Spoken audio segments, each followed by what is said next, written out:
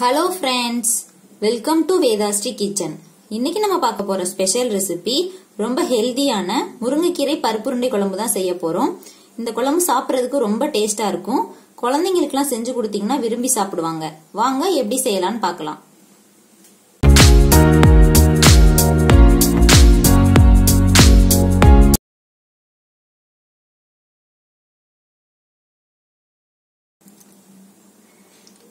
பருப்பு உருண்டை குழம்பு செய்யறதுக்கு நான் நூறு கிராம் துவரம் பருப்பு நூறு கிராம் கடலை பருப்பு எடுத்து ஆஃப் அன் ஹவர் ஊற வச்சு எடுத்து வச்சிருக்கேன். இப்போ இதை மிக்சி ஜாரில் சேர்த்து அரைச்சிக்கலாம். ஊற வச்ச பருப்பை இப்போ மிக்சி ஜாரில் சேர்த்துக்கலாம்.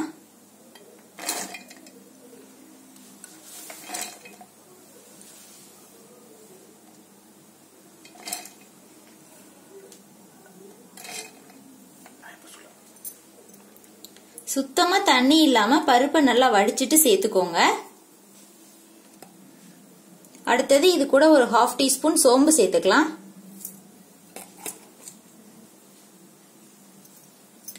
இப்போ இந்த பருப்பையும் சோம்பையும் சுத்தமா தண்ணி எதுவும் சேர்க்காம நல்லா கொர கொரப்பா அரைச்சு எடுத்துட்டு வந்துடலாம்.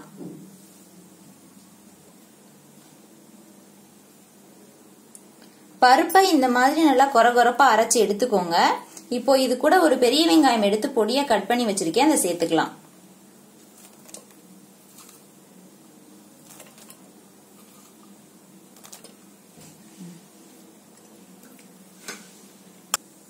அடுத்தது ஒரு நாலு பூண்டு பல் எடுத்து தட்டி வச்சிருக்கேன். அதையும் சேர்த்துக்கலாம்.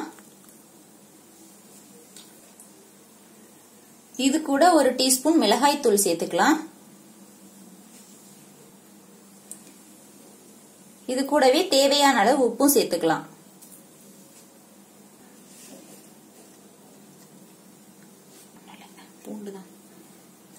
இப்போ இது கூட ஒரு கப் முருங்கைக்கீரை எடுத்து வச்சிருக்கேன் அதையும் சேர்த்துக்கலாம்.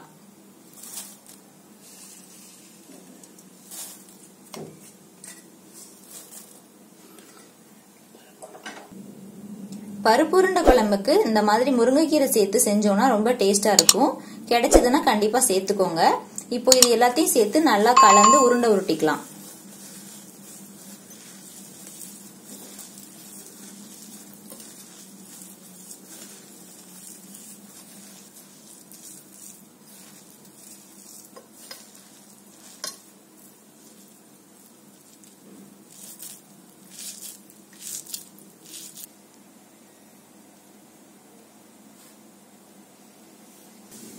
பருப்பு கீரையெல்லாம் சேர்த்து பருப்பு உருண்டை உருட்டி எடுத்து வச்சிருக்கேன். உங்களுக்கு விருப்பப்பட்ட சைஸ்ல உருண்டைகளை உருட்டிக்கோங்க.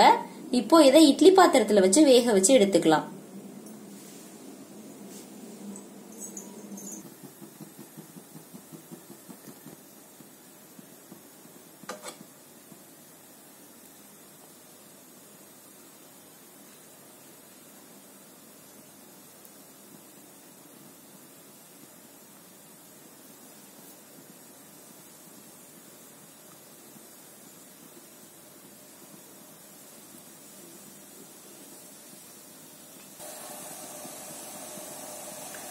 உருண்டை எல்லாத்தையும் இட்லி பாத்திரத்துல அடுக்கி வச்சாச்சு. இப்போ இதை க்ளோஸ் பண்ணி வச்சிடலாம். ஒரு பத்து நிமிஷம் நல்லா வேகட்டும்.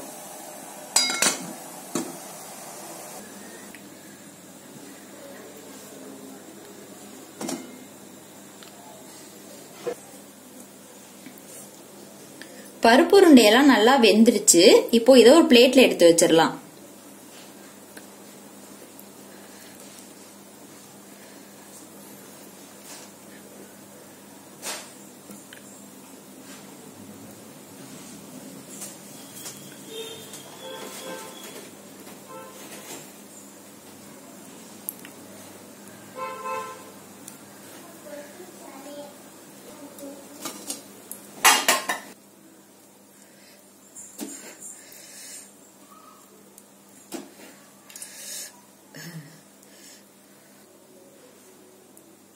பருப்பு உருண்டையெல்லாம் வேக வச்சு எடுத்தாச்சு.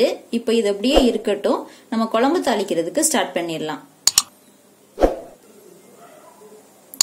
குழம்பு தாளிக்கிறதுக்கு ஒரு கடாயில மூணு டேபிள் ஸ்பூன் எண்ணெய் சேர்த்துக்கலாம்.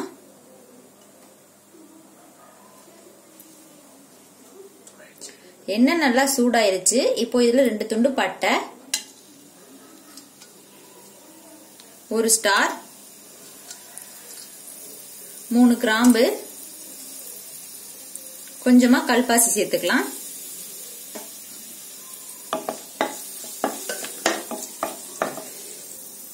அடுத்தது இது கூட ஒரு பெரிய வெங்காயம் எடுத்து பொடியா கட் பண்ணி வச்சிருக்கேன் அதை சேர்த்துக்கலாம்.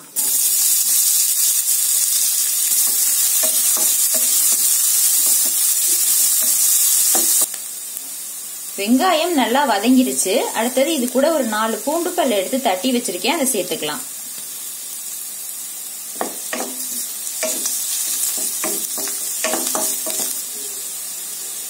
நல்லா வதங்கிடுச்சு. அடுத்தது இது கூட ஒரு தக்காளி எடுத்து பொடியா கட் பண்ணி வச்சிருக்கேன். அதை சேர்த்துக்கலாம்.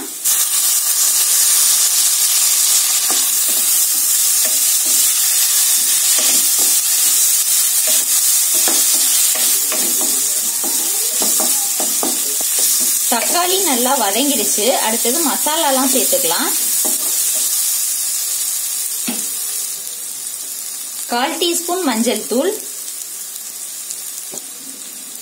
ரெண்டு டேபிள் ஸ்பூன் மல்லித்தூள்.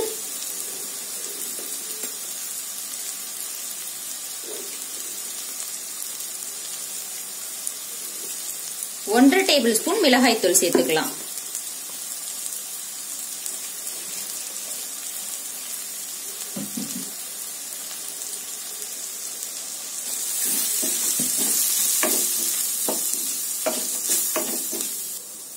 மசாலாலாம் எண்ணெயிலேயே நல்லா வதங்கிடுச்சு. அடுத்தது புளிக்கரைசல் சேர்த்துக்கலாம். நான் ஒரு பெரிய நெல்லிக்காய் சைஸ் புளி எடுத்து கரைச்சி வச்சிருக்கேன் அதை சேர்த்துக்கலாம்.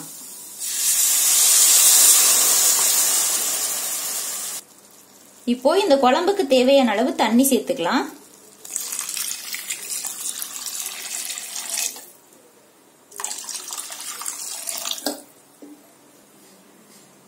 இப்போ இந்த குழம்புக்கு தேவையான அளவு உப்பு சேர்த்துக்கலாம். உப்பு சேர்த்து நல்லா கலந்து விட்டுட்டு க்ளோஸ் பண்ணி வச்சிடலாம். குழம்பு ஒரு அஞ்சு நிமிஷம் நல்லா கொதிக்கட்டும்.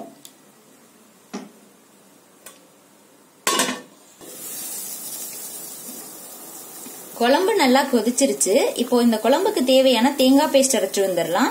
அது வரைக்கும் குழம்பு கொஞ்சம் நேரம் கொதிச்சிட்டு இருக்கட்டும். தேங்காய் பேஸ்ட் அரைக்கிறதுக்கு ஒரு மிக்சி ஜார்ல அரை மூடி தேங்காய் சேர்த்திருக்கேன். இது கூடவே ரெண்டு டேபிள் ஸ்பூன் பொட்டுக்கடலை சேர்த்துக்கலாம். கால் டீஸ்பூன் கசகசா.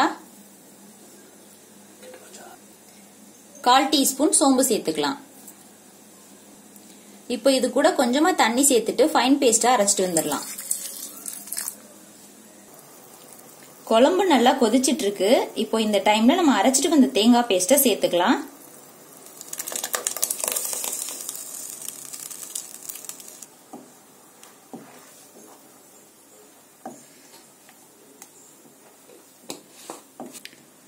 தேங்காய் பேஸ்ட் சேர்த்தாச்சு. குழம்பு இந்த அளவுக்கு நல்லா தண்ணியா வச்சுக்கோங்க. அப்பதான் உருண்டை சேர்த்து வெந்து வரும்போது கரெக்டா இருக்கும். இப்போ க்ளோஸ் பண்ணி வச்சிடலாம். குழம்பு கொஞ்ச நேரம் கொதிக்கட்டும்.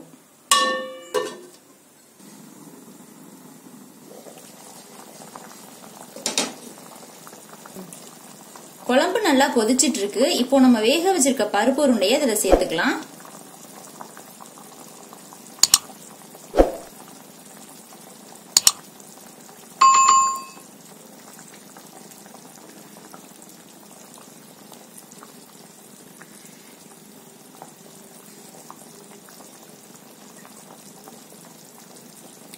நம்ம இதுல முருங்கைக்கீரை எல்லாம் சேர்த்திருக்கிறதுனால இந்த குழம்பு ரொம்பவே டேஸ்டா இருக்கும். இந்த மாதிரி வேக வச்சுட்டு சேர்த்தோம்னா உருண்டை உடையாம முழுசா அப்படியே இருக்கும்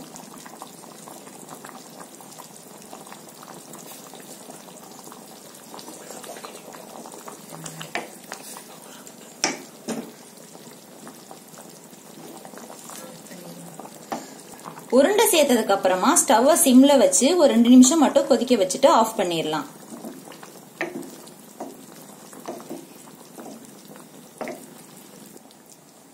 குழம்பு ரெண்டு நிமிஷம் நல்லா கொதிச்சிருச்சு. இப்போ ஸ்டவ் ஆஃப் பண்ணிடலாம் அவ்வளோதான். ரொம்ப டேஸ்டான முருங்கைக்கீரை பருப்பு உருண்டை குழம்பு ரெடி ஆயிருச்சு. நீங்களும் இதே மாதிரி செஞ்சு பார்த்துட்டு எப்படி இருக்குன்றத கமெண்ட்ல சொல்லுங்க. இந்த வீடியோ உங்களுக்கு பிடிச்சிருந்துச்சுன்னா என்னோட சேனலை மறக்காம சப்ஸ்கிரைப் பண்ணிக்கோங்க. தேங்க்யூ